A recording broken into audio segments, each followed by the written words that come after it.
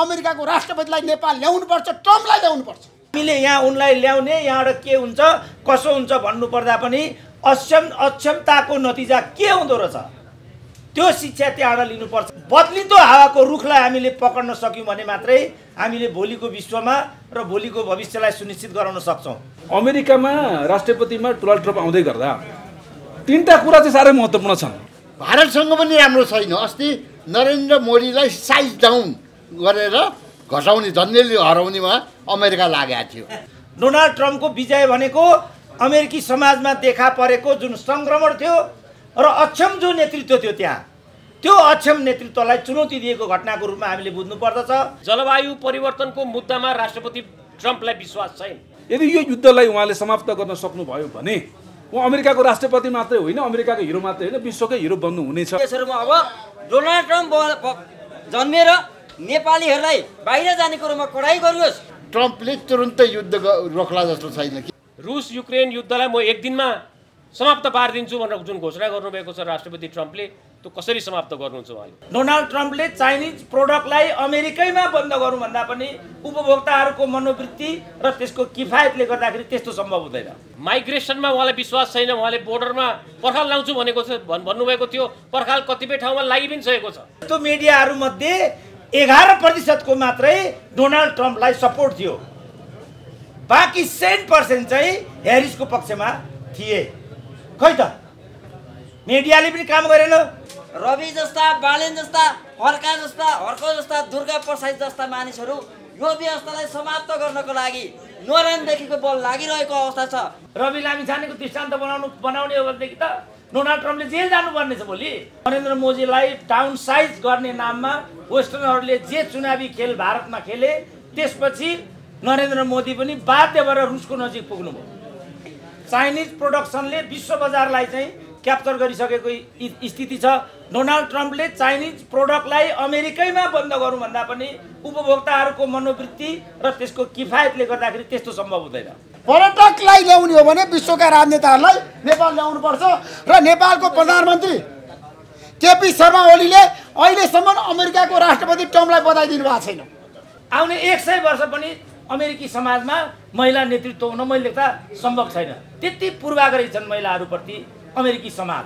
ठुलो मुलुकको सानोतिनो परिवर्तनले आधारभूत नीतिमा फरक पार्दैन। हामीमा गम्भीरता चाहिँ चाहिन्छ है। युवा युवा पत्रकारहरूले आज त्यतिकै युवा र परिपक्व पङ्क्तिबाट जे कुरा सुन्नु भएको छ यो सिद्धिविधि सुन्न पाइँदैन क्या? यति महत्त्वपूर्ण कुराले पनि हामीलाई गम्भीर बनाएन भने हामीहरू बिग्रिसकेका छौँ भन्ने धोतक यो। मलाई चाहिँ त्यस्तो लाग्छ। हामीमा गम्भीरता चाहिन्छ गम्भीर कुरा आयो भने अझ गम्भीर हुनुपर्छ। डायरी हुनुपर्छ कलम हुनुपर्छ नोट गर्नुपर्छ टिप्नुपर्छ र न हामीले अर्को पिँढी अर्को पुस्तान्तरण भन्ने कुरा आउँछ। म आजभन्दा पन्ध्र वर्ष अगाडि हाम्रो निश्चलजीको पिताजीसँग एउटा कार्यक्रममा वक्ता थिएँ। म उहाँको कुरा सुन्दा आज सुनेको सुनै भएँ किनभने बाबुसँग पनि बोलेँ छोरासँग पनि बोल्दैछु आज। छोराको कुरा सुन्दाखेरि मलाई प्रसन्नता पनि भयो। यस प्रकारले हो नि त पुस्तान्तरण हुने भनेको त। पुस्तान्तरण भनेको उमेरको हस्तान्तरण होइन क्या? पुस्तान्तरण भनेको ज्ञान र सोचसहितको हस्तान्तरण हो। उमेर कति भयो भन्ने कुरा गौण हुन्छ। विचार कति परिपक्व पक्क छ र कति अहिले हिँड्ने दाइ लौरो टेकेर भए पनि युवाभन्दा कम बोल्नु भए त बुढो भएर के फरक पर्छ त? स्प्रिट स्पिरिटफुल भयो भनेदेखि त्यही नै मान्छेको वयस्कता हुन्छ र त्यही नै युवा अवस्था हुन्छ। त्यो चिज त्यस कोणबाट हामीले वस्तुलाई हेर्नुपर्छ बुझ्नुपर्छ। त्यति बेला रमेशनाथजीले एउटा आँखा मलाई खोलिदिनु भएको थियो। मैले भ्रमवश एउटा कुरा भनेको थिएँ। भ्रमवश भनौँ कि उमेरको अपरिपक्वताको धोतक भनौँ। अमेरिकाले नेपाललाई भारतको आँखाबाट हेर्छ भनिदिएँ मैले। उहाँले ठ्याक्कै त्यसको उल्टो भनिदिनु भयो समय बदलिसकेको छ। अहिले अमेरिकाले भारतको आँखाबाट हेर्ने परिपाटी बदलिसकेको छ भनेपछि मेरो प्राडा त सिधै खुला गोलखडी भयो। भनेपछि प्राडाबाट मात्रै पनि हुँदो रहेछ। त्यसकारण उहाँले पनि आज कतिपय एजेन्डाहरू उठान गरिदिनु भयो। अरू अरू दाई हिरेन दाईहरूले पनि कतिपय एजेन्डाहरू उठान गरिदिनु भएको छ। त्यसको पेरिफेरीमा हामीले डोनाल्ड ट्रम्पको चुनावी परिणामलाई आकलन गऱ्यौँ र त्यसलाई नेपालको सन्दर्भमा कसरी अनुकूल बनाउन सक्छौँ भन्ने कुरा सोच्यौँ भने यस्ता कार्यक्रम गर्नुको तात्विकता र अर्थ भनेको त्यहाँ हुन्छ। यो पाँच वर्षमा विश्वभरि केही नभए पाँच लाख मान्छे हताहत भएको भन्ने छ। युक्रेनबाट दुई करोड मानिसहरू विस्थापित भएका छन् र युक्रेन रुइन भइसकेको छ। त्यहाँका मान्छेहरू अन्तै विस्थापित भइसके र स्थापित पनि भइसके जर्मन लगायतको देशहरूमा। र यो युद्ध अझै कन्टिन्यू हुने हो भनेदेखि युरोपले त्यसलाई धान्न सक्दैन भन्ने एउटा मनोविज्ञान पनि त्यहाँ थियो। यो इजरायलको मात्रै कुरा गर्ने हो भनेदेखि चालिस हजारभन्दा बढी प्यालेस्टाइनहरूको त्यहाँ ज्यान गइसकेको छ। त्यसमध्ये सेभेन्टी पर्सेन्टभन्दा बढी चाहिँ महिला र बालबालिकाहरू हताहत भएको भन्ने छ। अब जहाँसम्म ट्रम्पको विजयपछि पार्ने फरकको प्रश्न हो तेल अभिबमा हमासले आज मात्रै पनि आक्रमण गरेको छ। यसले के देखाउँछ भने युद्ध कन्टिन्यू हुन्छ। किनभने ठुलो मुलुकको सानोतिनो परिवर्तनले आधारभूत नीतिमा फरक पार्दैन। केही फरक पार्छ तात्विक फरक पार्दैन। जस्तो जलवायु परिवर्तनको कुरा भयो अघि यहाँ र केही बजारको बजारको कुरा गर्दाखेरि पनि चाइनिज प्रोडक्सनले विश्व बजारलाई चाहिँ क्याप्चर गरिसकेको स्थिति छ। डोनाल्ड ट्रम्पले चाइनिज प्रोडक्टलाई अमेरिकैमा बन्द गरौँ भन्दा पनि उपभोक्ताहरूको मनोवृत्ति र त्यसको किफायतले गर्दाखेरि त्यस्तो सम्भव हुँदैन। किनभने चाइनाले फर्स्ट वर्ल्ड कन्ट्रीमा जे प्रडक्ट पठाउँछ त्यो क्वालिटी सहित पनि हुन्छ। प्लस सस्तो पनि हुन्छ त्यो। त्यो त्यो बजार डोनाल्ड ट्रम्पले घुमाउन चाहे पनि उपभोक्ताहरूले त्यसलाई त्यसमा मन्जुरी दिँदैनन्। त यो सब कुराले गर्दाखेरि जस्तो अहिले रस्सा रस्सामाथि यो युक्रेनको नाममा नेटोको लागि जसरी रस्सालाई समाप्त पार्छौँ भन्ने हिसाब ल्याइयो र रस्सालाई जसरी एक्लै बनाउँछौँ भन्ने हिसाब लिएर आइयो अब मलाई लाग्छ अस्सीभन्दा बढी मुलुकहरूलाई रस्साले आफ्नो पक्षमा पार्न सकिसकेको स्थिति छ। अघि हिरेन राईले भनि नै सक्नुभयो नरेन्द्र मोदीलाई टाउन साइज गर्ने नाममा वेस्टर्नहरूले जे चुनावी खेल भारतमा खेले त्यसपछि नरेन्द्र मोदी पनि बाध्य भएर रुसको नजिक पुग्नुभयो। अब हामी अहिले चाहिँ पेट्रोलियमको कस्ट हाई हुनुपर्नेमा रुसको कारणले गर्दाखेरि आगामी दुई वर्षसम्म आजबाट डलरको दाम एक रुपियाँ बढ्यो तर पेट्रोलियमको दाम पचास पैसाले घटेको छ। र रसाले के ग्यारेन्टी गरिदिएको छ भनेदेखि आगामी दुई वर्षसम्म पनि पेट्रोलियम पदार्थको मूल्य बढ्दैन घटेरै जान्छ। जबकि त्यो बढ्नुपर्ने थियो। त्यो घटिरहेको छ भनेपछि उसले रिस्क लिइरहेछ। सुपर पावर भनेको त्यहाँबाट राइज हुने भयो। र प्रविधिको दृष्टिकोणले अमेरिकाको भन्दा पनि राम्रो प्रविधि रसियासँग छ पैसा चाइनासँग छ लडाकुहरू भारत र नेपालसँग छन् गएर लडिदिइहाल्छन्। यो सन्तुलनलाई मेन्टेन गर्न डोनाल्ड ट्रम्पलाई पनि सजिलो छैन। त यो देखेको हुनाले अमेरिकी जनताहरूले मैले अघिल्लो पालि यिनैसँग भिडेकी थिइन् हिलारी त्यो बेला मैले भनेको थिएँ पुरुषवादी चिन्तन भएको मुलुक हो अमेरिका। महिलाहरूलाई खालि बजारमा मात्रै घुमाउने तर नेतृत्वमा ल्याउनको लागि अमेरिकी समाज अहिले पनि तयार छैन। र म आज भन्छु फेरि त्यही फ्याक्टरले डोनाल्ड ट्रम्पले यिनलाई हराइदिएको छ। आउने एक सय वर्ष पनि अमेरिकी समाजमा महिला नेतृत्व हुन मैले देख्दा सम्भव छैन। त्यति पूर्वाग्रही छन् महिलाहरूप्रति अमेरिकी समाज। यो हिसाब किताबले डोनाल्ड ट्रम्पले जितिराखेको छ तिसवटा त मुद्दा छन् अघि पनि आयो। ती मुद्दामध्ये कैयौँ मुद्दाहरूमा फैसला भइसकेको छ। रवि लामिछानेको दृष्टान्त बनाउनु बनाउने हो भनेदेखि त डोनाल्ड ट्रम्पले जेल जानुपर्ने छ भोलि। सजिलो कुरा त छैन नि त त्यहाँ पनि। त यो सब कुराहरूको चुनौतीहरूको बिचमा चाहिँ डोनाल्ड ट्रम्प हुनुहुन्छ। मलाई एउटा टेक्स्ट आइरहेको थियो आज अमेरिकामा पचास वर्ष बसेको नेपाली। नेपाली पनि बोल्न नजान्ने अमेरिकाबाट पनि पिएचडी गरेको यहाँ आइराखेको थियो। डोनाल्ड ट्रम्प मात्रै अमेरिकाको यस्तो राष्ट्रपति हो। जसले भरे के गर्छ र भोलि के गर्छ भन्ने कुरा अनुमान गर्न सकिँदैन। त्यसकारण दुई हजार पच्चिस इस्वी भनेको विश्वको लागि डिस्ट्रक्टिभ हुनेछ भनेर। किनभने रिपब्लिकन पार्टी भनेको वार मोङ्गर पार्टी हो। डेमोक्रेटिक पार्टी भनेको एन्टी वार पार्टी हो। तर अहिले ठ्याक्कै उल्टो भएको छ। रिपब्लिकन पार्टी शान्तिवादी ब्यानरमा आइराखेको छ। डेमोक्रेटिक पार्टीले विश्वमा युद्धको चाहिँ वकालत गरिराखेको स्थिति छ भनेपछि अमेरिकी समाज पनि नेपालकै जस्तो सङ्क्रमण कालमा छ। भोलि के हुने हो भरे के हुने हो कसरी जानुपर्ने हो भन्ने विषयमा पनि अमेरिकी राजनीति डिबेट गर्दै गरेको भन्ने देखिन्छ। यतिका चुनौतीहरूको बिचमा डोनाल्ड ट्रम्पको त्यहाँ विजय भइराखेको छ। जस्तो अहिले यहाँ अब नेपालीहरूलाई त एउटा भिसा भयो भने पुगिहाल्छ एउटा डिबी भयो भने भइहाल्छ। आठ हजार नेपालीले फर्केर यहाँ आउनुपर्छ भन्ने कुरामा उनीहरू रोदन गर्छन्। नेपालीहरूलाई तात्विक रूपमा यसले फरक पार्दैन। डिबी पनि कन्टिन्यू हुन्छ उनीहरूले फ्रस्ट्रेट भइरहनु पर्दैन। किनभने उतापट्टिको जुन मेक्सिकोपट्टिको जुन बोर्डर हो त्यो बोर्डरले ठेलम ठेलासम्मको स्थिति त्यहाँ हुन थाल्यो र नेपालको जस्तो पुलिसको स्थिति अमेरिकामा पनि भइसक्यो। एकैचोटि जबरजस्ती दस हजार मानिसहरू त्यहाँबाट ठेलम ठेल गरेर अमेरिकाभित्र पसिसकेपछि यो अमेरिकी सुरक्षाको लागि थ्रेट हो।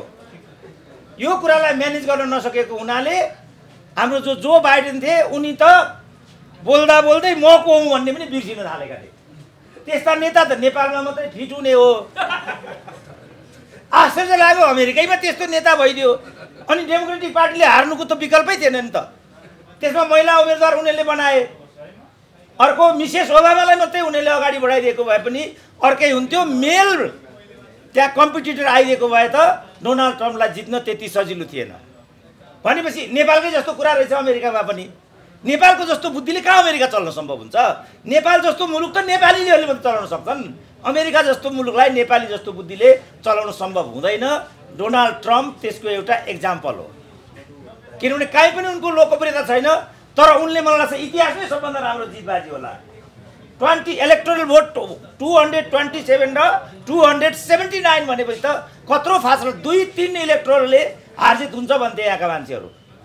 एघार प्रतिशत तपाईँ जस्तो मिडियाहरूमध्ये एघार प्रतिशतको मात्रै डोनाल्ड ट्रम्पलाई सपोर्ट थियो।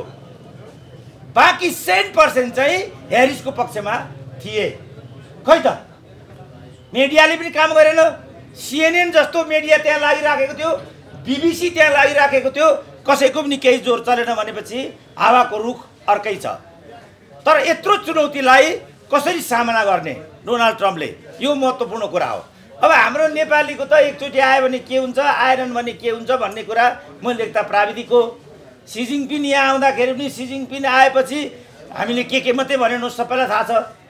सी जिङपिङ भारतको भ्रमण आएका थिए। बाहिर वे नेपालमा आएर एक रात रोकिने र यहाँबाट उता जाने भन्ने कुरामा हामीहरू आह्लादी थियौँ। मलाई थाहा छैन त्यो भ्रमणले हामीलाई के दियो भनेर। त्यसकारण भ्यालु हामीले हाम्रो मुलुकको क्यापेसिटी हामीले आफै बनाउन सक्नु पऱ्यो बढाउन सक्नु पऱ्यो हाम्रो प्रडक्ट हाम्रो क्यापेबिलिटी हाम्रो हैसियतले मात्रै अरू मुलुकहरूसँगको बराबरीलाई चाहिँ सामना गर्ने नगर्ने कुरा हुन्छ। जस्तो सार्कको कुरा थियो राजाको पारलमा सार्कलाई पनि क्यास गरिएको थियो नन एलाइनमेन्ट थियो त्यसलाई पनि क्यास गरिएको थियो युएन थियो त्यसलाई पनि क्यास गरिएको थियो। अब अहिले हामी केही पनि क्यास गर्न सक्दैनौँ। नन एलाइनमेन्ट निष्क्रिय भएर गयो। सार्कको त चेयरम्यानमा लाग्छ अहिले पनि नेपालै होला। उहाँ सार्कमा पिएचडी हुनुहुन्छ। अहिले अब सार्क सार्कको त यहाँ। सार्क यति टाढा कि पाकिस्तानको प्रधानमन्त्री र इन्डियाको प्रधानमन्त्रीलाई हाम्रो प्रधानमन्त्रीले हात यताको हात र उताको हात गरेर हात मिलाइदिनु पर्यो। त्यसलाई नै सबभन्दा ठुलो सफलता मानियो। अवस्था यस्तो छ। दुईवटा प्रधानमन्त्रीले हात मिलाउनु नै सबभन्दा ठुलो सफलता चाहिँ कुटनीति कहाँ आएको छ त? अहिलेको विश्वमा। तर हाम्रो कन्ट्रास्ट के छ भने मैले आज एउटा माओवादी गुरिल्लासँग भेट भएको थियो। त्यो गुरिल्लाले भने चाहिँ तिमीले शासन गरेको कति वर्ष भयो नेपालमा भन्दा? सत्र अठार वर्ष। तिमीहरूले एउटा अर्थमन्त्री विकास गरेको भए त्यो अर्थमन्त्री को हो? एउटा परराष्ट्र मन्त्री विकास गरेको भए त्यो परराष्ट्र मन्त्री को हो? एउटा राजदूत राम्रो राजदूत विकास गरेको भए त्यो राजदूत को हो भन्दा गुरिल्लाको यत्रो यस्तो भयो टाउको। अब कहाँबाट यसबाट त हुन्छ त? राजाले त एक सय घडघडान मान्छेहरूलाई अर्थविदहरूलाई हर्ष बहादुर था भेगबहादुर थापालाई अमेरिकामा लिएर आए। कलाविद लेन्सिन बाग्नेलाई युकेबाट लिएर आए। राम्रो गीत गाउने अमर गुरुङलाई दार्जिलिङबाट लिएर आए। राम्रो इतिहासवाद श्रीविक्रम गेवालीलाई दार्जिलिङबाट लिएर आए। तब न हाम्रो देशले अलिकति पूर्वाधार पायो। त्यो भन्ने बित्तिकै गोपालजीहरू यहाँ आउनुहुन्छ प्रतिगामी भन्नुहुन्छ ठोकिहाल्नुहुन्छ। देशको लागि सर्भिस गर्यो भने प्रतिगामी होस् कि क्रान्तिकारी होस् न? कत्रा कत्रा क्रान्तिकारीहरू पनि त हामीले देखिहाल्यौँ। आखिर यो यो यो ऋषि धमलावाला यो यो सडक कतिचोटि भने त हेर यो यो सडकको स्थिति? बनाइदिने मान्छे खोजिरहेको छु।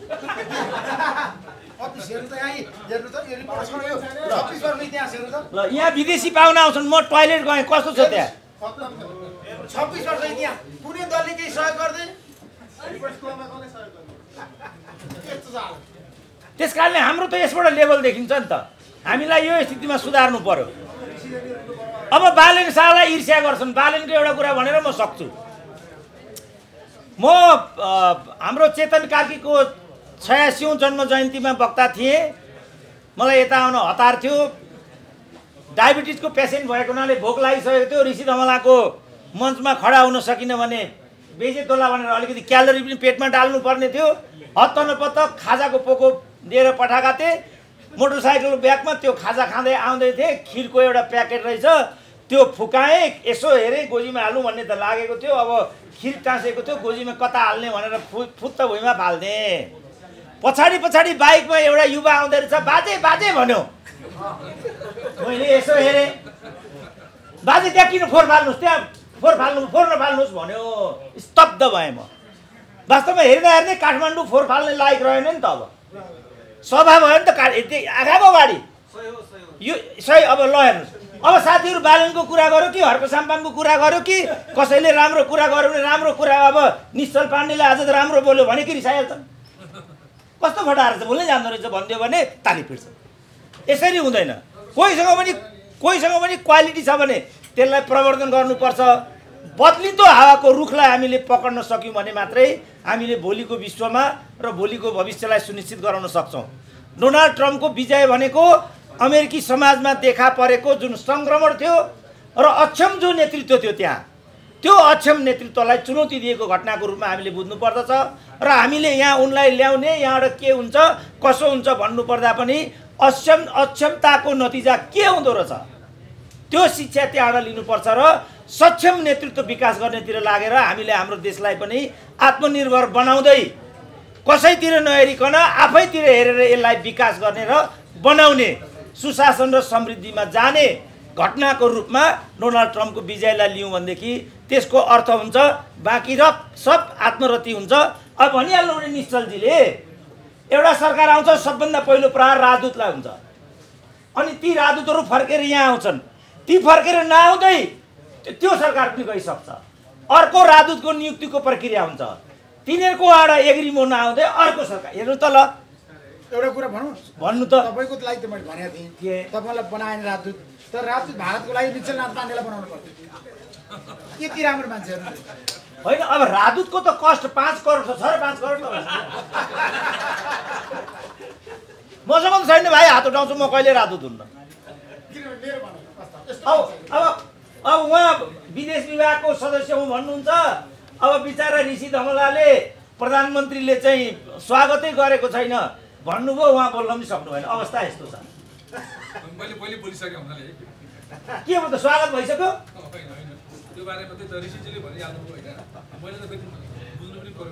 बुझ्नु यस्तो छ। अब विदेश विभागको सदस्यले नै के भयो भन्ने कुरा बुझ्न बाँकी छ भने अनि बल्गाले के बुझ्नु भन्नु त? प्रधानमन्त्रीको सल्लाहकारलाई सोध्नु पर्छ होइन? प्रधानमन्त्रीको सल्लाहकारलाई सोध्नु पऱ्यो को हुनुहुन्छ त परराष्ट्र सल्लाहकार? सोध्नु पऱ्यो त्यहाँ मुख्य सल्लाहकार सोध्ने भयो परराष्ट्र सल्लाहकार हुनुहुन्न? मुख्य सल्लाहकारलाई सोध्ने। अब मैले केही भन्नु नाङ्गो भयो कि भएन त देश? यो अवस्था हाम्रो छ यसलाई सुधारौँ। डोनाल्ड ट्रम्पको नतिजाले हामीलाई दिन खोजेको सन्देश चाहिँ यही हो। म बिदा लिन्छु धन्यवाद। विषयमा बोलिदिनु पर्यो। राजनैतिक प्रतिशोध भनेर सडक तताइरहेका छन्। के छ तपाईँको भनाइ? राजनीतिक प्रतिशोध त हो तर प्रतिशोधको पनि प्रतिशोध हो। उहाँहरूले चाहिँ कैलाश सिरोलाई थुन्नुभयो अरुण चौधरीलाई थुन्नुभयो विनोद चौधरीलाई लतार्नुभयो। अर्को हाम्रो कमरेड थियो नि एकजना अर्को कमरेड के अरे? कृष्णबहादुर कमरेडलाई लगेर थुन्नुभयो। अनि त्यो प्रतिशोध थियो भने यो पनि प्रतिशोध थियो। हो। त्यो प्रतिशोध होइन भनेदेखि यो पनि प्रतिशोध होइन। छनौट तपाईँहरूको। जस्तो अर्को एउटा प्रसङ्ग नि यो एउटा भ्लगर छन् नि रतन कार्कीलाई ल्याउन चाहिँ इन्टरपोल लाउन सक्ने सरकारले जिबी राईलाई ल्याउन चाहिँ किन नसकेको होला किन त्यो सुरसार नगरेको होला? यति साह्रो लाचार सरकारलाई तपाईँको भनाइ के छ? जिबी राई कहीँ छैनन् नेपालमै छन् ल्याउने कुरै हुँदैन उनी भूमिगत छन्। अब कहाँबाट ल्याउने जिबी राईले त्यो बिचरा कहाँ भाँडा मात्दै थियो ल्याउँछन् ल्यायो भने ल्याउँछन् होला मैले त पहिल्यै भनेको। हामीले सामाजिक सञ्जाललाई पनि दुरुपयोग नगरौँ। यसलाई सदुपयोग मात्रै गरौँ। यहाँ यतिका चाहिँ सोसियल मिडियाका साथीहरू छन्। टिभी त बिरेलर भए पनि ऋषि धवलाको प्राइम टिभी होला। अर्को त कुनै टिभी यहाँ छैन। यत्रो मौका दिने यसलाई पनि हामीले दुरुपयोग गऱ्यौँ भने भोलि कहाँ जाने त? हाम्रो निश्चल पाण्डेजी हुनुहुन्छ यत्रो राम्रो ज्ञान राख्नुहुन्छ। नेपालका मुख्य मिडियामा त मलाई जस्तो उहाँलाई नै पनि दिनुपर्ने स्थान दिए भन्ने कुरा म पत्याउँदिनँ। दिएको छ कसैले भने त यिनीहरूले दिएको छ। तर यसलाई पनि हामीले दुरुपयोग गऱ्यौँ भने हामी भोलि कहाँ जाने त म भन्दै आएको थिएँ भन्दै आएको थिएँ भन्दै आएको थिएँ। त्यो पछिल्लो दृष्टान्त चाहिँ पछिल्लो दृष्टान्त मात्रै हो। उहाँले जे बोल्नु भएको थियो उदाहरणको लागि केपी ओलीले टिकटक खुल्ला गरिदिनु भयो त्यसको पहिलो एपिसोड चाहिँ केपी केपी ओलीले नाङ्गो बनाएर प्रदर्शन गरियो। भनेपछि त किन त्यसलाई खुल्ला गर्ने भन्ने कुरा त त्यहाँबाट आइहाल्यो। त्यस कारण दुरुपयोग नगरौँ यसलाई सदुपयोग गरौँ। त्यसले मात्रै त्यस्तो घटना हुनुबाट रोक्छ। होइन भने हामीहरू फस्दै जान्छौँ फस्दै जान्छौँ र अन्त्यमा सकिन्छौँ। धन्यवाद। थ्याङ्क यू पत्रकार साथीहरू सुन्नुहोस् है। अब रिपोर्टर्स कलको कुरा आयो। मैले आज बोल्नेवाला थिइनँ सुन्नुहोस् चारैजना साथी राख्छु है। डक्टर सुरेन्द्र केसी गोपालजी र विश्वनाथ पाण्डेजी रिपोर्टर्स क्लब कृष्ण प्रसाद भट्टराई पहिलो वक्ता उद्घाटन गरेको आजभन्दा छब्बिस वर्ष अगाडि। रिपोर्टर्स क्लब दोस्रो वक्ता गिरिजा प्रसाद कोइराला तेस्रो वक्ता मनमोहन अधिकारी। इतिहास लामो छ। धेरै नेता जी मेरा आदरणीय वीरेन्द्र लाल श्रेष्ठ आदरणीय सुरेन्द्र केसी मेरा मित्र गोपाल खनालजी अब राष्ट्रपति डोनाल्ड ट्रम्पको यो एउटा शानदार विजय राष्ट्रपति ट्रम्पको शानदार विजयपछि ट्रम्पको विश्व नीति र विशेष गरी दक्षिण एसियाली नीति कस्तो हुन्छ भन्ने कुरामा अनेक विचार विमर्श भइरहेको छ। यसमा बुदागत रूपमा म केही कुराहरू राख्न चाहन्छु। पहिलो पहिलो पटक इतिहासमा केही अपराधिक क्रियाकलापमा संलग्न भएको भनेर मुद्दा खेपिरहेको व्यक्ति अमेरिकाको राष्ट्रपति हुन गइरहेको छ। यो एउटा न्यायपालिका र कार्यपालिका र व्यवस्थापिका बिचको द्वन्द्व अब अमेरिकामा कसरी सुरु हुन्छ अथवा कसरी यसलाई निर्क्युल गरिन्छ? जुन मुद्दाहरू छन् कतिपय मुद्दाहरूमा फैसला भइसकेको अवस्था छ। त्यो कार्यान्वयन कसरी हुन्छ? यसलाई हेर्नु अत्यन्त जरुरी छ किनभने रुल अफ ल डेमोक्रेसीको कुरा गर्ने मुलुकले आफ्नै राष्ट्रपति आफ्नै कमान्डर इन चिफको विरुद्धमा भएका जति पनि यी फैसलाहरू छन् यसलाई कसरी कार्यान्वयनमा लिएर जान्छ? अथवा ती केसेसहरू डिफल्ट हुन्छन्। न्यायपालिकाले यसलाई कसरी हेर्छ भन्ने कुरा पहिलो यो चाहिँ महत्त्वपूर्ण हुन्छ। दोस्रो रिपब्लिकन एडमिनिस्ट्रेसनको बेला जुन छ रिपब्लिकन पार्टीको अब कङ्ग्रेसमा पनि बहुमत हुने वर्चस्व हुने रिपब्लिकन पार्टीकै राष्ट्रपति हुने हुनाले राष्ट्रपति डोनाल्ड ट्रम्पको दक्षिण एसियाप्रति के नीति हुन्छ? उहाँको चिनप्रतिको के नीति हुन्छ र भारतप्रतिको के नीति हुन्छ? अघि ऋषिजीले पनि भन्नुभयो प्रधानमन्त्री मोदीसँग राष्ट्रपति ट्रम्पको विशेष आत्मीय सम्बन्ध छ। उहाँ चाहिँ नि पटक पटक भारत पनि आउनुभएको छ प्रधानमन्त्री मोदी पटक पटक अमेरिका जानुभएको छ ट्रम्पलाई भेट्नुभएको छ। त्यस्तै चिनसितको उहाँहरूको सम्बन्ध कस्तो हुन्छ? राष्ट्रपति ट्रम्पले पटक पटक भन्नुभएको छ America first my country first tariff लगाउँछु म ट्याक्स बढाउँछु म। मलाई ग्लोबलाइजेसनमा विश्वास छैन। संयुक्त राष्ट्र सङ्घका कतिपय कुराहरूमा उहाँलाई विश्वास छैन। उहाँको अघिल्लो कार्यकालमा युनेस्कोबाट अमेरिकाले हात छोडेकै हो युनेस्को छोडेकै हो। त्यस्तै आप्रवासी नीति माइग्रेसनमा उहाँलाई विश्वास छैन उहाँले बोर्डरमा पर्खाल लाउँछु भनेको छ भन् भन्नुभएको थियो। पर्खाल कतिपय ठाउँमा लागि पनि सकेको छ अमेरिका मेक्सिकोको बोर्डरमा। त्यस्तै गरी यो जेन्डर इम्पावरमेन्ट महिला सशक्तिकरण अबोर्सन राइट्स र समलिङ्गीहरूको अधिकारमा पनि राष्ट्रपति ट्रम्पको विश्वास छैन। डेमोक्रेटहरूको बढी त्यसमा चाहिँ लगाव हुन्थ्यो। यसमा चाहिँ रिपब्लिकनहरूको त्यति विशेष रुचि छैन। यी इस्युजहरूमा पनि नेपाललाई ठाडै प्रभाव पर्छ। र अर्को महत्त्वपूर्ण भनेको चाहिँ जलवायु परिवर्तन। जलवायु परिवर्तनको मुद्दामा राष्ट्रपति ट्रम्पलाई विश्वास छैन। उहाँले क्लाइमेट चेन्ज भन्ने कुरालाई नै मान्नुहुन्न। र उहाँले यो फसिल फ्युल बढी उत्पादन गर्नुपर्छ। अमेरिका एनर्जी सिक्युरिटीमा आफै चाहिँ आत्मनिर्भर हुनुपर्दछ। पेट्रोल डिजेलको अझ उत्खनन गर्नुपर्दछ। यो इभी भेहिकलहरू अमेरिका आउनु दिनु हुँदैन। भनेर उहाँले बताइरहनु भएको छ यसमा पनि ठाडै हामीलाई इम्प्याक्ट गर्छ किनभने अहिले हामी क्लाइमेट फाइनेन्सिङको कुराहरू गरिरहेका छौँ। र अर्को कुरा भनेको चाहिँ नि हाम्रो इतिहास नेपाल अमेरिका सम्बन्धको इतिहास हेर्ने हो भने विशेष गरी रिपब्लिकन गभर्मेन्टले रिपब्लिकन एडमिनिस्ट्रेसनले नेपाललाई प्राथमिकतामा राखेको हाम्रो इतिहास छ। राजा महेन्द्रले जोइन्ट सेसन अफ कङ्ग्रेसलाई जुन सम्बोधन गर्नुभएको थियो त्यो बेलामा रिपब्लिकन एडमिनिस्ट्रेसन थियो। राष्ट्रपति आइजन हावर हुनुहुन्थ्यो। त्यसै गरेर राजा वीरेन्द्रको जुन स्टेट भिजिट भयो अमेरिकामा सन् उन्नाइस सय त्रियासीमा त्यो बेलामा पनि रिपब्लिकन एडमिनिस्ट्रेसन थियो। राष्ट्रपति रेगन हुनुहुन्थ्यो। स्वर्गीय गणेशमान सिंहलाई विशिष्ट किसिमको आदर गरेर व्हाइट हाउसको ओभल अफिसमा राष्ट्रपति बुस सिनियरले भेटघाट गर्नुभएको थियो। यद्यपि त्यो बेलामा गणेशमान सिंहको कुनै पनि प्रोटोकल थिएन। उहाँ रुलिङ पार्टीको सभापति हुनुहुन्थेन उहाँ प्रधानमन्त्री हुनुहुन्थेन। त्यही पनि उहाँलाई सर्वमान्य नेताको रूपमा राष्ट्रपति बुसले ओभल अफिसमा सम्मान गर्नुभएको थियो भेट गर्नुभएको थियो। त्यो बेलामा पनि रिपब्लिकन एडमिनिस्ट्रेसन थियो अमेरिकामा। त्यस्तै नेपाल भ्रमण गर्ने पछिल्लो secretary of state Colin Powell हुनुहुन्छ। उहाँ सन् दुई हजार दुईमा नेपाल आउनुभएको। त्यो बेलामा पनि रिपब्लिकन एडमिनिस्ट्रेसन थियो। तर secretary Anthony Blinken secretary of state उहाँ डेमोक्रेटिक गभर्मेन्टको डेमोक्रेटिक एडमिनिस्ट्रेसनको उहाँ नेपाल भ्रमणमा आउनु भएन। तपाईँलाई थाहा छँदैछ। भन्दाखेरि पुरा इतिहास हामीले हेर्ने हो भने र उपराष्ट्रपति अघि ऋषिजीले राष्ट्रपति भ्रमणको कुरा गर्नुभयो। नेपाल भ्रमण गर्ने एक मात्र अमेरिकी उपराष्ट्रपति स्पाइरो एग्न्यू उहाँ नेपाल सन् उन्नाइस सय अडसट्ठीमा आउनुभएको। उहाँ पनि रिपब्लिकन एडमिनिस्ट्रेसन त्यसकारण जति पनि नेपाल भ्रमणहरू भएका छन् अथवा नेपालबाट उच्च स्तरको भ्रमण जुन भयो अमेरिकामा त्यो बेलामा विशेष गरी रिपब्लिकन एडमिनिस्ट्रेसन भएको छ। र अहिले पनि रिपब्लिकन एडमिनिस्ट्रेसन आएको हुनाले हामी आशा गर्न सक्दछौँ कि नेपाल प्राथमिकतामा पर्छ अमेरिकी सरकारको र हामीले त्यसलाई उपयोग गर्न सक्छौँ आफ्नो राष्ट्रिय हितमा। तर पनि यो भन्नै पर्छ पत्रकार साथीहरू कि अमेरिकी एडमिनिस्ट्रेसनको विशेष प्राथमिकता भनेको दक्षिण एसियामा भारत नै हो। भारतसितको सम्बन्ध उहाँहरूले कसरी विस्तारित गर्दै लिएर जानुहुन्छ? प्रधानमन्त्री मोदी र राष्ट्रपति ट्रम्पको आत्मीय विशेष व्यक्तिगत सम्बन्ध छ। त्यसलाई कसरी विकसित गर्नुहुन्छ?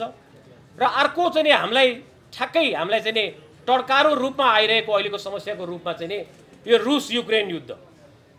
रुस युक्रेन युद्धलाई म एक दिनमा समाप्त पारिदिन्छु भनेर जुन घोषणा गर्नुभएको छ राष्ट्रपति ट्रम्पले त्यो कसरी समाप्त गर्नुहुन्छ उहाँले?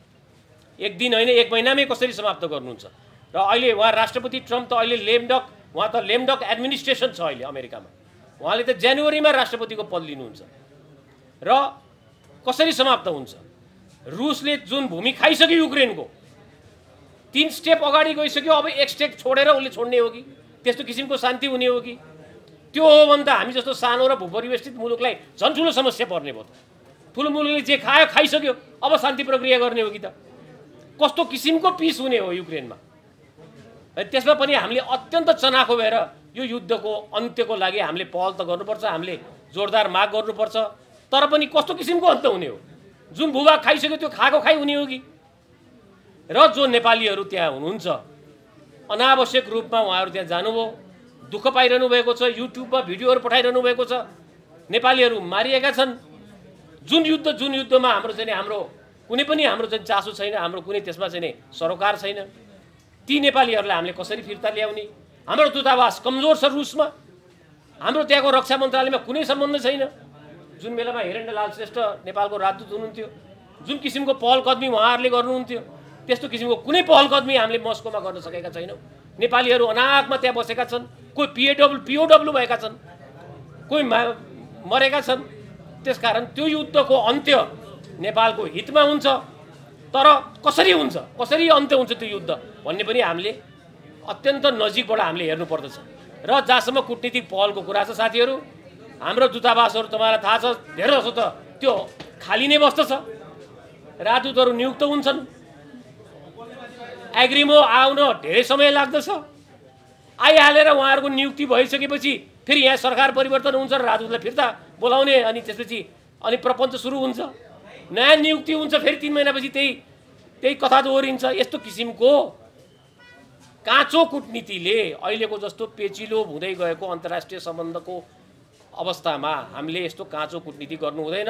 हामी सिरियसली अब चाहिँ नि आफ्नो अन्तर्राष्ट्रिय छविलाई बढाउनमा लाग्नुपर्दछ धन्यवाद। एकदम राम्रो व्याख्या गर्नुभयो। कुटनीतिक चातुर्यता भनेको निचलनाथ पाण्डेमा होइन? त्यसैले गर्दाखेरि हाम्रो देशमा सम्भावना छ तर एउटा कुरो भन्न चाहन्छु यहाँ यो चारैजनालाई दुईजना युवा दुईजना परिपक्व। म बुढा पनि भन्छु परिपक्व। विश्व राजनीति विश्व राजनीति कसरी गइरहेछ भन्दाखेरि पुष्ट हस्तान्तरण भएको छैन विश्वमा। किनभने झन् टर्म आयो हेर्नुहोस् है त्यहाँ कमला हेरिस धेरै कम उमेरको टर्मभन्दा तर टर्मले चुनाव जित्नु अत्याधिक मत ल्याएर। भारतमा मोदी राहुल गान्धी आउन सकेन सी जिनपिङले लगातार चाहिँ शासन गरे। पुटिन लगातार भनेपछि विश्वमा अहिले मान्छेहरूले जुन उमेरको कुरा नेपालमा हुन्छ राजनीतिमा पुस्तान्तरण पुस्तान्तरण होइन अब भिजनको कुरा गरौँ देश बनाउने कुरा गरौँ। देश बनाउने कुरा गर्नु यो अप्रिय हुनसक्छ। तर अब पुस्तान्तरले मात्र देश बन्दो रहन्छ नि त अरू देश विश्वमा बुढा मान्छेहरूले त बनाए। माथिले बनाएन मलेसिया नब्बे वर्षमा। त्यो मान्छेमा गर्स चाहियो इमान्दारिता चाहियो नैतिकता चाहियो देशप्रति छ नि। वफादारिता चाहियो। र लिडरसिपमा क्वालिटी चाहियो। क्षमता। र जनतालाई माया गर्न सक्नु पर्यो त्यो मान्छे जहिले पनि सफल हुन्छ। जनता जनता जनता। म अब हिरेला श्रेष्ठज्यू कुटनीतिज्ञ एकदम परिपक्व कुटनीति वरिष्ठ कुटनीति हिरेनलाल श्रेष्ठज्यू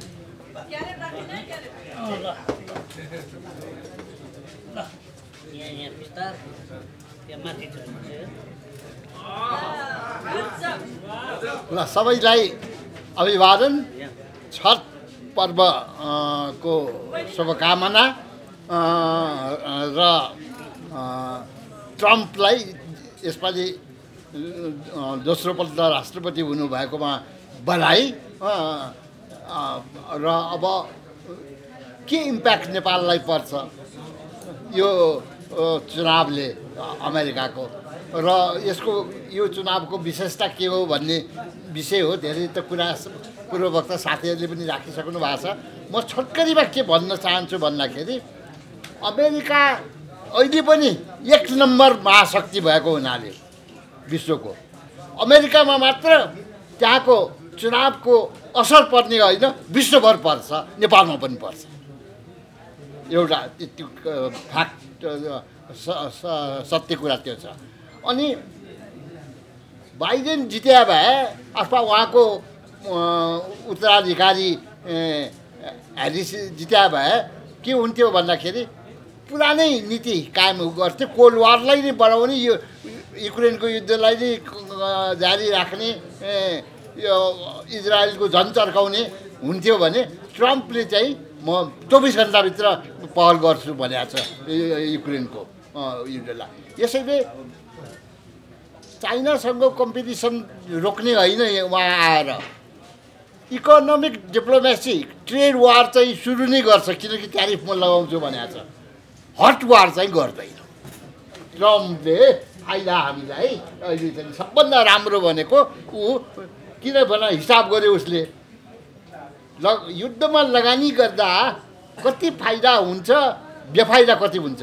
उसले हेऱ्यो युवाहरू किन बेरोजगार छन्?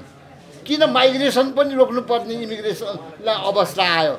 भन्दाखेरि युद्धले अर्थतन्त्रलाई बिगारेको छ अमेरिकाको पनि।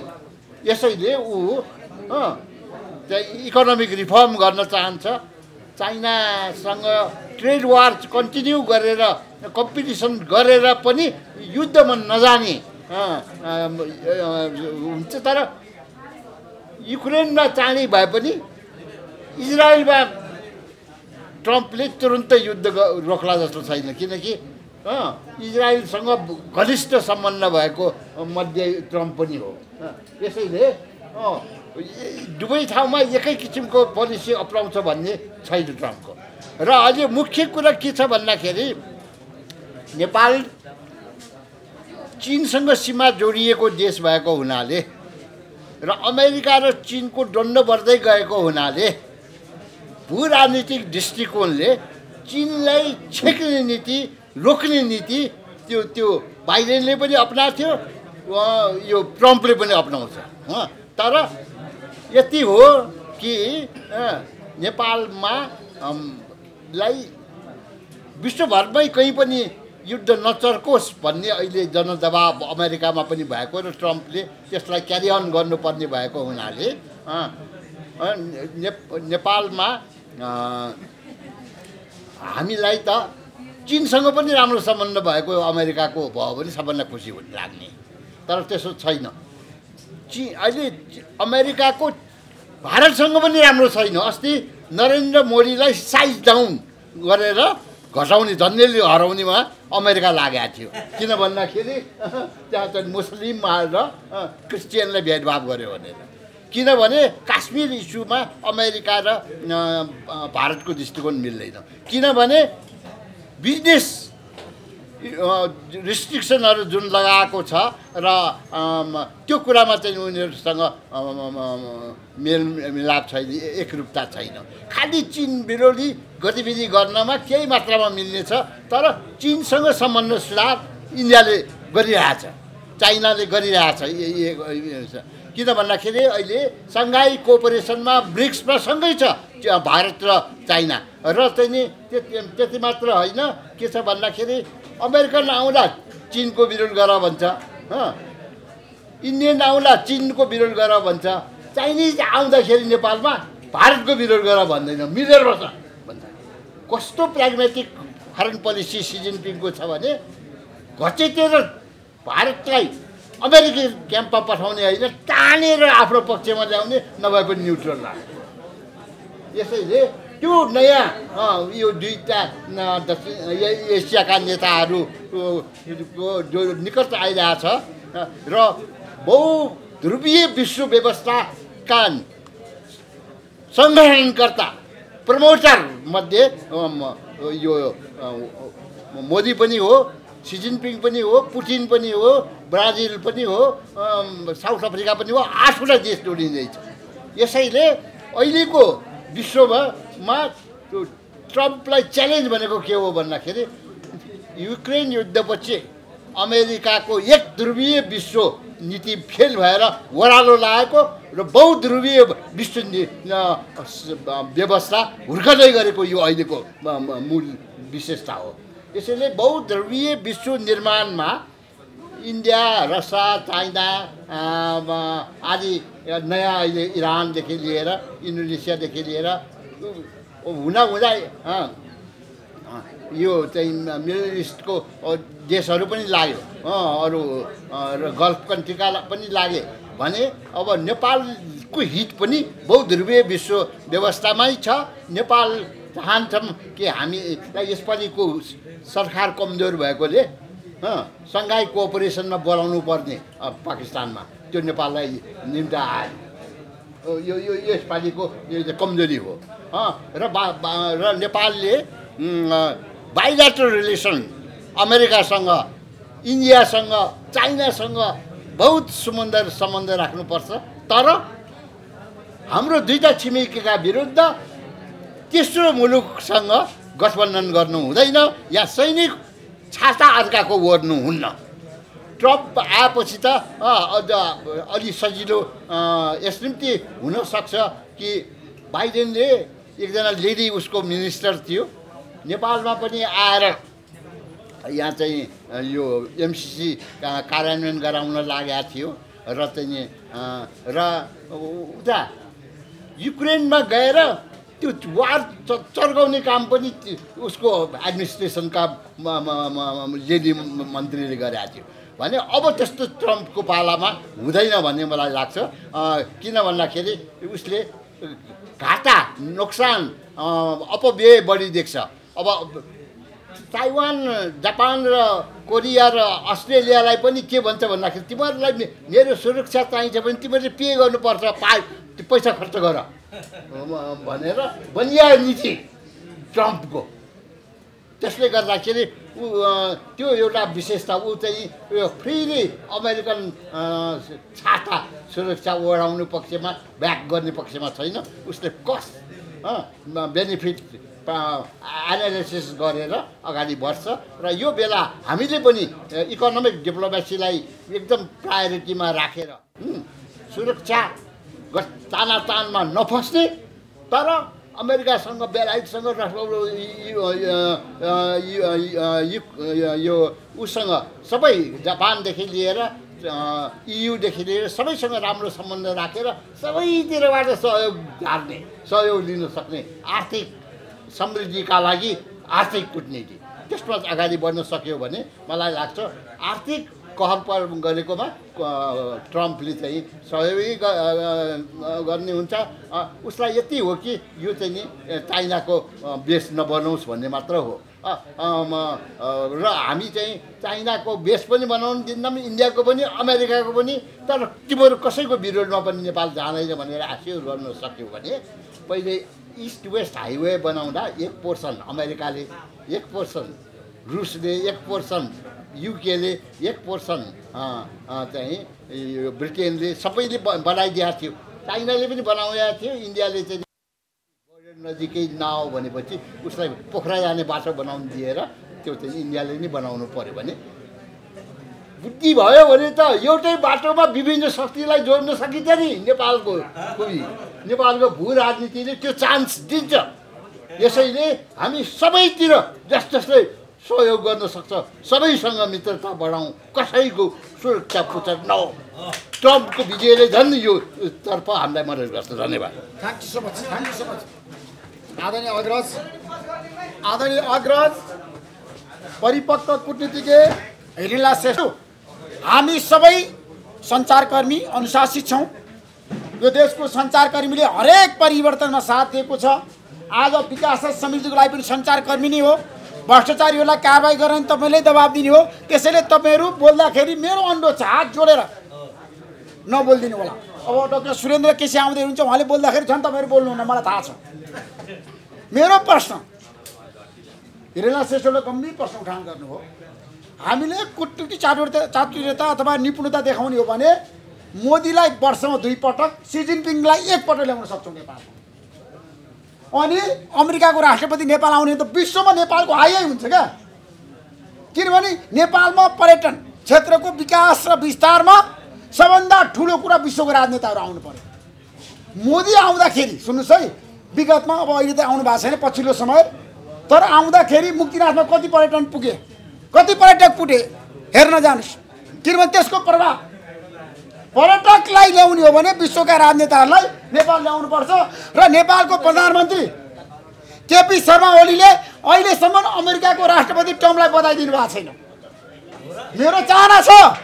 म यहीँबाट भन्न चाहन्छु छिटो गर्नुहोस् प्रधानमन्त्री केपी शर्मा ओलीज्यू। विश्वका राजनेताहरूले दिइसके नेपालको प्रधानमन्त्रीको अझै पनि बधाई र सफलता शुभकामना किन आएन? किन आएन? मैले हेर्न पाएको छैन पढ्न पाएको छैन।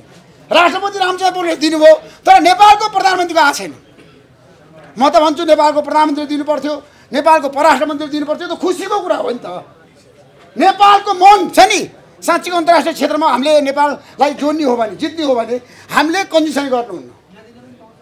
टर्मलाई मात्र सफलता शुभकामना छ धेरै जापानको पूर्व प्रधानमन्त्री हासी हासिमोतो पनि आउनुभयो। मेरो प्रश्न कहाँनिर भन्दाखेरि तर यो अफिस बनाउन किन सकेनौँ?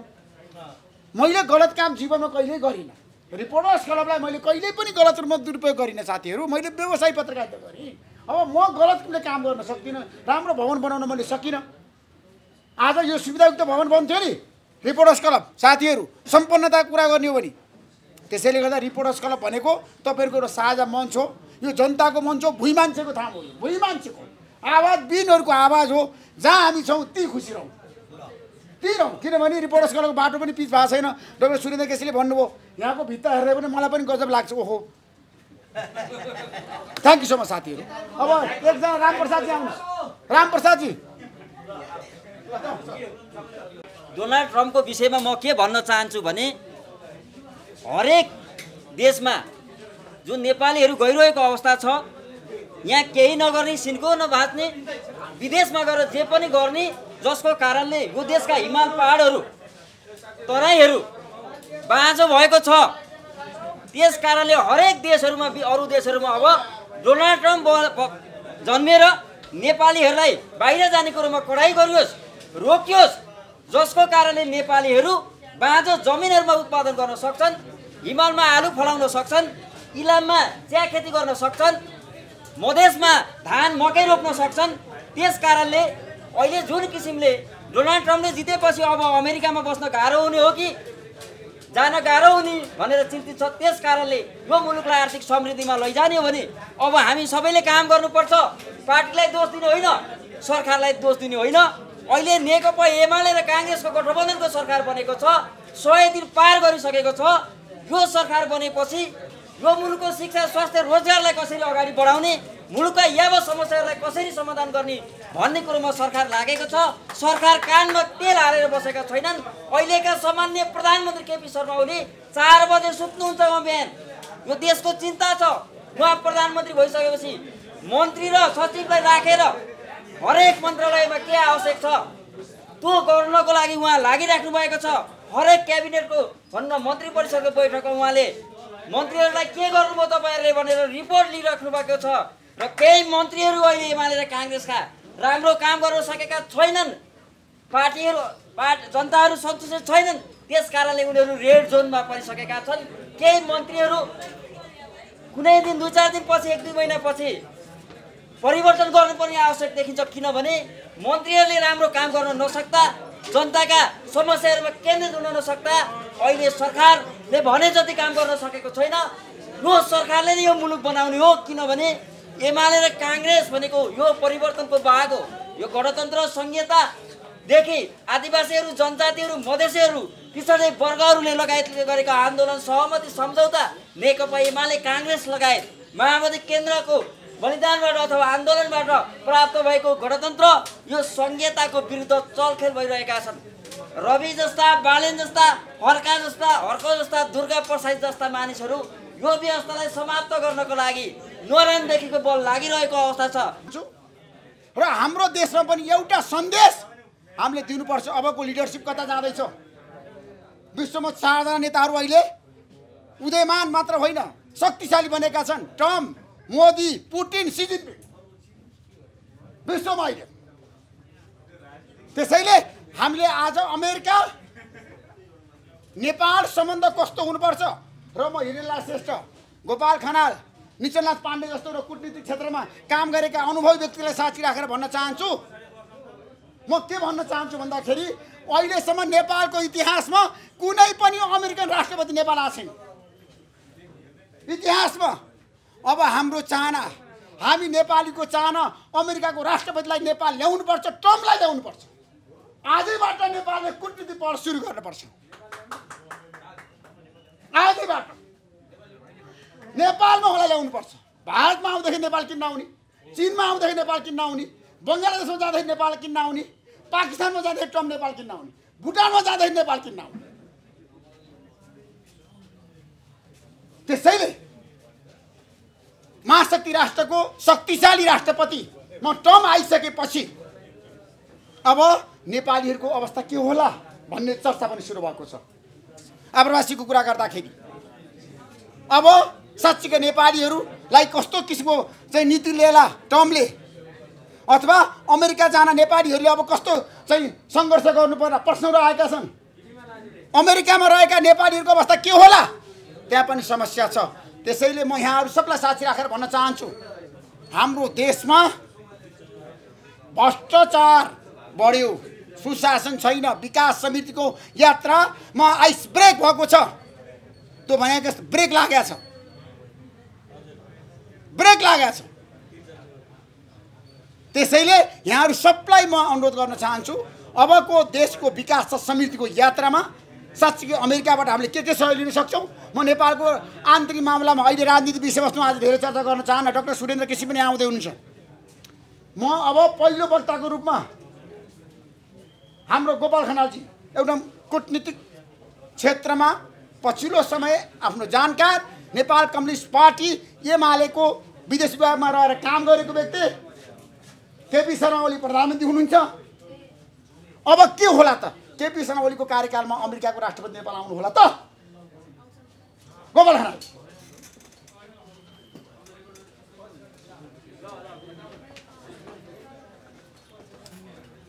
धन्यवाद ऋषिजी। धेरै गम्भीर प्रश्न ऋषिजीले राख्नु। उत्तर दिने सामर्थ्य त मेरो छैन। तर म उहाँको स्पिरिटसँग सहमत छु। उहाँको जुन स्पिरिट छ उसले जे गर्न गर्न सकिन्छ भनेर भन्नुभएको छ। भ्रष्टाचार मुक्त देश र ठुल्ठुला शक्तिशाली देशका राष्ट्रपतिहरूलाई नेपाल भ्रमण ल्याउने कुरासँग मेरो सिद्धान्त त छ। त्यस अर्थमा उहाँको स्पिरिटको म पूर्ण समर्थन गर्न चाहन्छु। अब पहिलो उहाँले के के प्रश्नहरू राख्नु भएको छ म धेरै प्रश्न एकअर्कासँग जोडिएको हुनाले बुदागत रूपमै जान चाहन्छु। पहिलो चाहिँ के भन्दाखेरि अमेरिकामा राष्ट्रपतिको निर्वाचन प्रत्येक चार चार वर्षमा हुन्छ र स्वाभाविक रूपमा कि डेमोक्रेट कि रिपब्लिकनको उम्मेदवारले जित्नुहुन्छ। त्यसै हेर्दा एउटा अमेरिकाको पनि त्यो सामान्य एउटा सा प्रक्रिया भयो।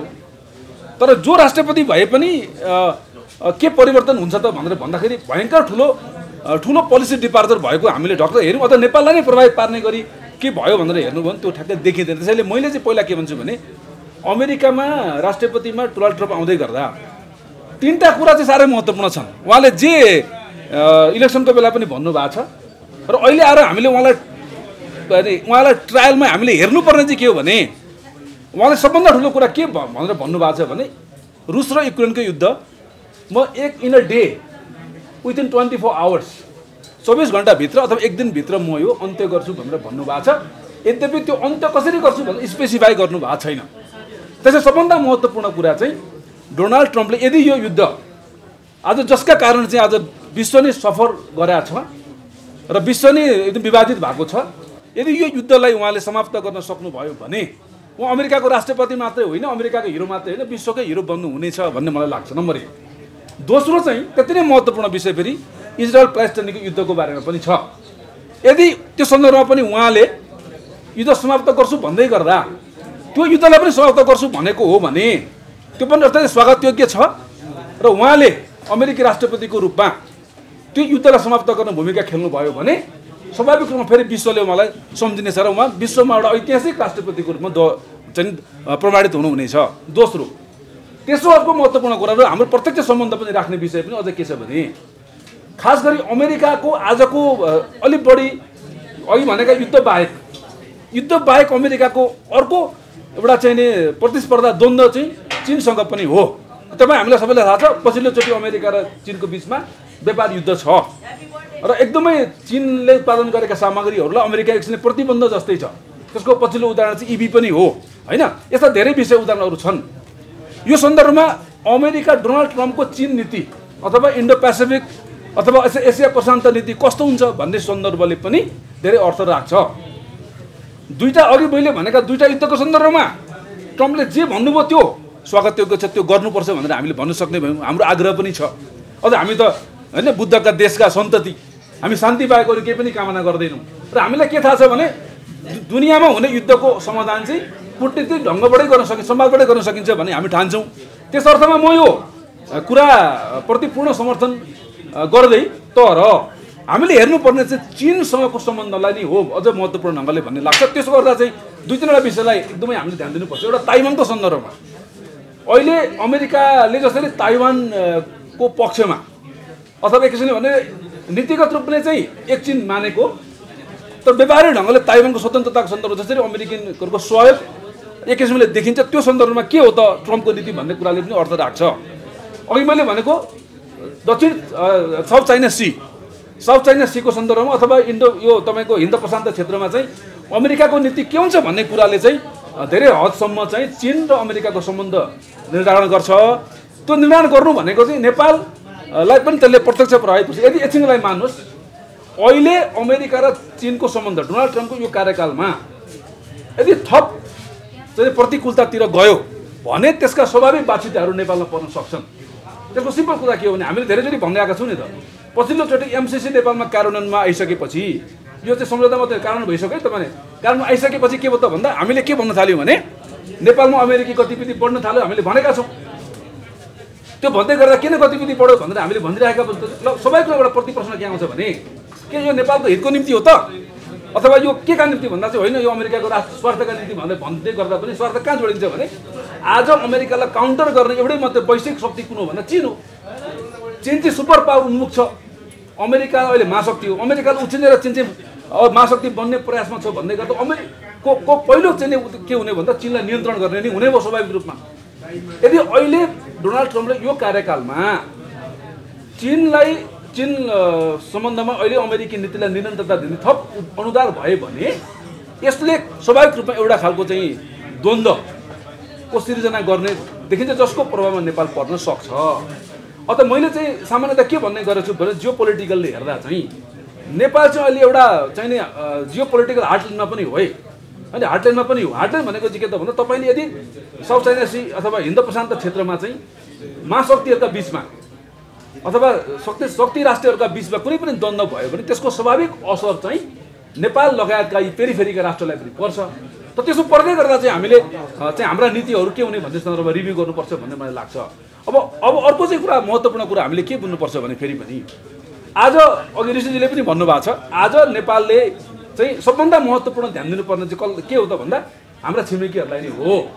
आज हाम्रा हरेक पार्टीका मेनिफेस्टोमा तपाईँले हेर्नु भएको छ भने पछिल्लो त्यो उल्लेख पनि भएको छ कि नेपालको पहिलो प्राथमिकता को पर्छ भने दुईवटा नेबरहुड पर्छ। होइन चिन र भारत। भारत र चिनको समझदारी बिना हामीले यो यो भौगोलिक अवस्थामा हाम्रो हाम्रो विकास गर्न निकै चुनौती छ हामीलाई। त्यसमा मैले के भन्ने गरिरहेको छु भने भारत र चिन चाहिँ हाम्रो चाहिँ चुनौती होइन अवस्था हो अवस्थामा रूपान्तरण गर्नुपर्छ।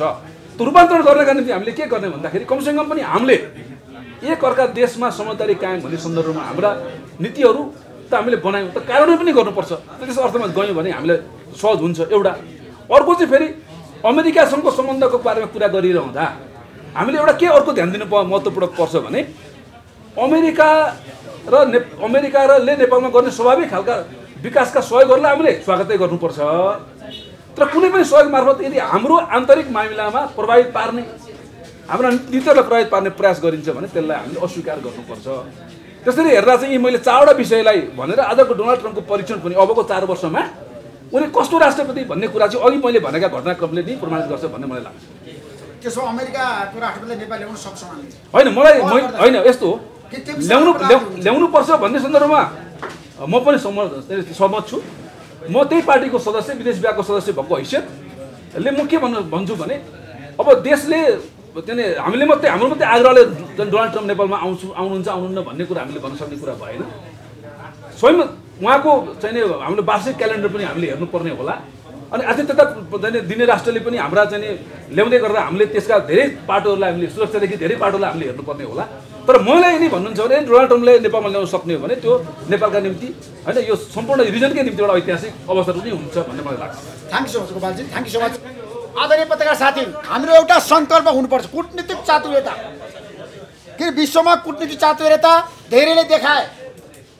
नेपालमा कुटनीतिक चातुर्यता देखाउने मान्छे कतिजना छ भने हामीले औँलाले गर्ने हो भने एउटा पिपी कोइराला अर्को राजा महेन्द्र। कुटनीतिक चातुर्यता कुरा गर्ने हो भने। किन विश्वमा नेपालको पहिचान प्रतिष्ठा? ख्याति लोकप्रियता। र नेपाल भन्ने देशको कुरा गर्ने हो भने नेपालको प्रधानमन्त्री बैसठी त्रिसठी सालको जनआन्दोलनपछि गिरिजाप्रसाद कोइराला बन्नुभएको थियो। उहाँ भारत भ्रमण जानुभयो र भारतीय प्रधानमन्त्री मनमोहन सिंहले इन्दिरा गान्धी एयरपोर्टमा आएर स्वागत गरेर भन्नुभयो एसियाको राजनेता भनेर त्यस्तो नेता पनि नेपालमा थियो। किन मनमोहन सिंहले अहिलेसम्म कुनै पनि नेपालको प्रधानमन्त्रीलाई अथवा नरेन्द्र मोदीले वेलकम गरेका छैन। एयरपोर्टमा आएर। त्यो लिडरसिप चाहियो देशलाई। किनभने विश्व सामु नेपालको पहिचान राख्न सक्ने लिडरसिप चाहियो। र विश्वले नेपाललाई चिन्नु पर्यो। को? फलानुको नेतृत्वमा नेपालमा सरकार छ भन्ने कुरा विश्वलाई थाहा हुनु पर्यो। त्यस्तो नेता चाहियो। धुन्धर नेता धुरन्धर काबिल क्षमतावान राजनेता। म अब पाण्डेजी धन्यवाद अ,